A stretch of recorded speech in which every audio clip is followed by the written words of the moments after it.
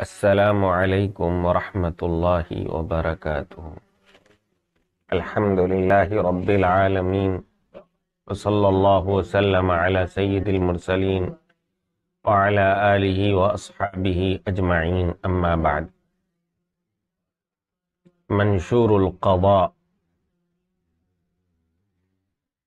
قضاء دستور. بسم الله الرحمن الرحيم. من عبد الله بن عمر أمير المؤمنين إلى عبد الله بن قيس. يخط عبد الله بن عمر من عبد الله عمر. الله کے بندے عمر کی جانب سے لکھا جا رہا ہے یعنی عمر الفاروق کی جانب سے. امیر المؤمنین جو امیر المؤمنین ہے إلى عبد الله بن قیس عبداللہ ابن قیس کو یہ خط لکھا جا رہا ہے یعنی ابو موسا اشعری رضی اللہ تعالی عنہ۔ ان کو قاضی بنایا تھا، تو ان کی جانب یہ خط بھیجا جس میں قضاء کے بارے میں اصول و ضوابط حضرت عمر رضی اللہ عنہ نے بتائے۔ سلام علیکہ۔ سلام سے ابتدا کی ہے۔ اما بعد، فإن القضاء فریضة محکمة بے شک، قضاء فیصلہ کرنا، لوگوں کے درمیان عدل کرنا، یہ ٹھوس فریضہ ہے. فریضة محکمة وسنت متبعت متبعت وسنت متبعت اور معمول بھی سنت ہے، جس کا اتباع کیا جا رہا ہے، جس کو اختیار کیا جا رہا ہے، سنت جاریہ ہے۔ ففہم تم اچھی طرح سے سمجھ لو جو باتیں ہم تمہیں بتا رہے ہیں۔ اذا ادلی الیک فانه لا ينفع تکلم بحق۔ لا نفاذ له.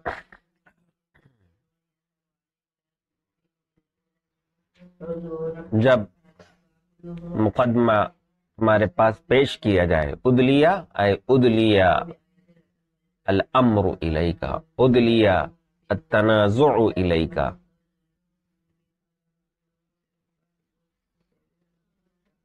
ادلا بھی ہی آتا ہے بلکہ ادلی بل امری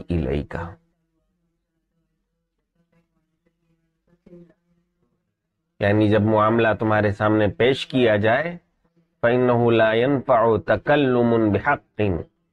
تو پھر حق بات کو زبان سے ادا کرنا نافع نہیں ہوتا ہے، جس کو نافذ نہ کیا جائے۔ لا نفاذ لو یعنی حق بات کا فیصلہ کرو تو اس کو نافذ بھی کرو۔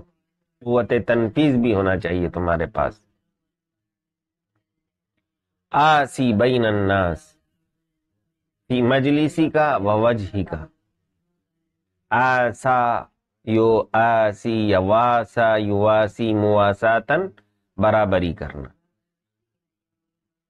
لوگوں کے درمیان برابری کا، مساوات کا سلوک کرو۔ فی مجلسی کا، اپنی مجلس میں و وجہ کا۔ اور اپنی توجہ میں، اپنا چہرہ ان کی طرف موڑنے میں۔ سب کی جانب رخ ہونا چاہیے، تمہارا سب کی جانب توجہ برابر ہونا چاہیے۔ مجلس میں سب کو ایک مقام ملنا چاہیے۔ لا يطمع شریف فی حیفی کا تاکہ کوئی شریف یعنی عزت والا، وجاہت والا شخص ہماری زیادتی میں امید وار نہ ہو جائے۔ کہ میں ان سے اپنے حق میں ناجائز فیصلہ کروا لوں۔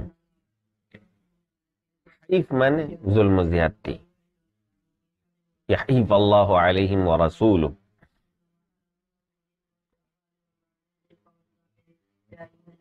اس سے پہلے، یہاں سے پہلے سے تعلق ہے اس قرآن مجید کی آیت کا۔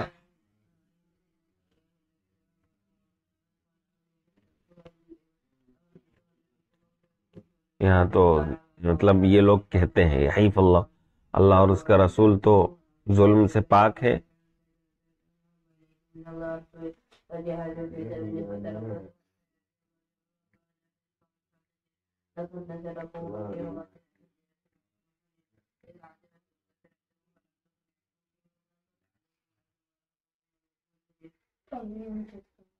ام يخافون ان يحيف الله عليهم ورسوله؟ افي قلوبهم مرض ام ارتابوا کیا ان کے دلوں میں بیماری ہے؟ یا یہ شک میں مبتلا ہے؟ یا یہ ڈرتے ہیں کہ اللہ ان پر زیادتی کر دے گا یا اس کا رسول؟ بلولائک هم الظالمون، منافقین کے بارے میں۔ حتی لا یطمع شریف فی حیفکا، تاکہ کوئی معزز شخص باوجہت شخص تمہاری زیادتی کا امیدوار نہ ہو جائے، طمع لالچ کرنا۔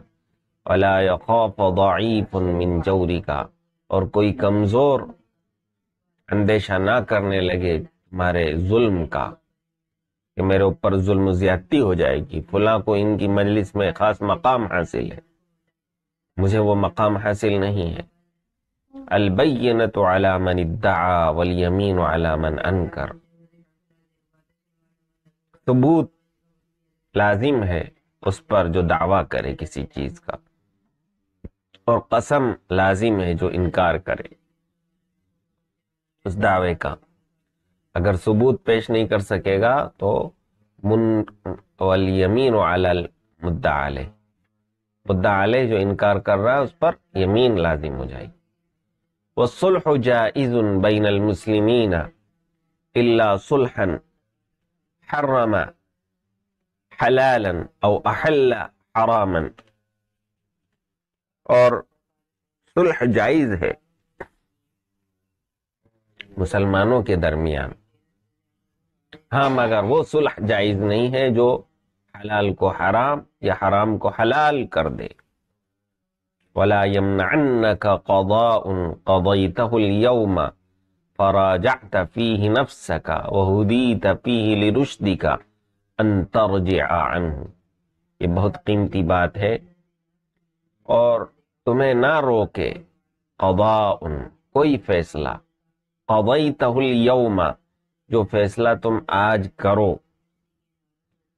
فراجعت فیہ نفسکا پھر تم نے اس فیصلے میں کل فیصلہ کرنے کے بعد اپنے دل میں غور کیا۔ راجعت فی نفسکا اپنے آپ سے رجوع کیا یعنی اس میں غور و فکر کیا۔